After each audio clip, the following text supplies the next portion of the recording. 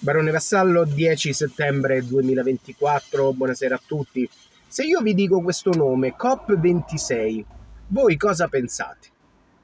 Naturalmente la quasi totalità delle, pens- delle persone pensano al supermercato. Invece COP26 è stato un meeting che doveva avvenire a novembre 2020, ma dato che eravamo in piena falsemia, fu spostato al 31 ottobre 2021. In questo meeting, in questo incontro che sa tanto di padrino, c'erano più di 120 leader mondiali. Vi dico alcuni nomi dei partecipanti. Tra questi 100 leader, 120 leader, era presente Macron, era presente Joe Biden, Boris Johnson. Naturalmente per l'Italia Mario Draghi, Naftali Bennett per Israele e Trudeau per il Canada. Tra i grandi assenti Jinping cinese, il leader cinese. E naturalmente, dato che eravamo in piena lotta contro la Russia, è mancato anche Vladimir Putin. Questo era il messaggio di entrata del meeting. L'umanità ha giocato a lungo sul clima. Manca un minuto a mezzanotte sull'orologio del giorno del giudizio. Dobbiamo agire ora. Tra tutti questi pezzi da 90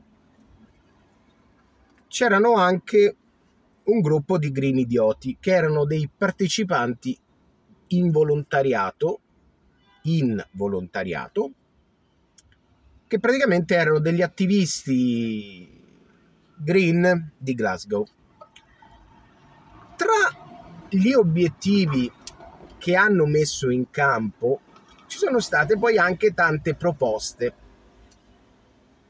E la proposta peggiore è quella che troverete nel titolo. Però vi dico quali erano gli obiettivi di questi personaggi. Raggiungere la neutralità carbonica entro il 2050, rimanere al di sotto di un grado e mezzo. I paesi sono invitati a proporre gli ambiziosi obiettivi di riduzione delle emissioni per il 2030, al fine di raggiungere la neutralità del carbonio entro la metà del secolo adattarsi e proteggere la comunità e gli habitat naturali, che sono i più vulnerabili, i più minacciati dai cambiamenti climatici. Mobilitare fondi per la causa clima- climatica, per per raggiungere i primi due obiettivi, e i paesi sviluppati devono mantenere la promessa di mobilitare almeno 100 miliardi di dollari all'anno per la causa climatica. Lavorare insieme per raggiungere la carbon neutrality, le sfide della crisi climatica possono essere affrontate solo se tutti sono mobilitati. Naturalmente qui si parla del fatto che anche solo un aumento di un grado e mezzo porterebbe a eh, distruggere tutto, eh, a mm, mettere in campo dei fenomeni di inondazioni, di eventi atmosferici gravi, piogge temporali. E quindi eh, questo porterebbe a deforestazione, inondazioni. E tra tutti i temi che si sono detti, naturalmente ci sono stati quelli che hanno anche tra i più grandi attivisti di questa pagliacciata hanno dato il suggerimento di non far più revisionare le auto con oltre 15 anni.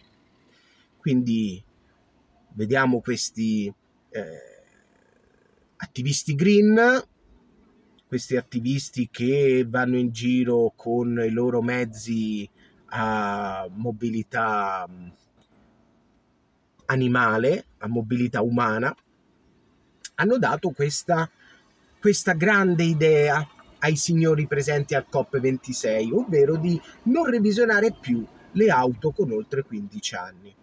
L'aumento degli obiettivi di riduzione delle emissioni a gas di effetto serra, il finanziamento per la transizione energetica dei paesi più poveri, tutto pagato da noi, eh?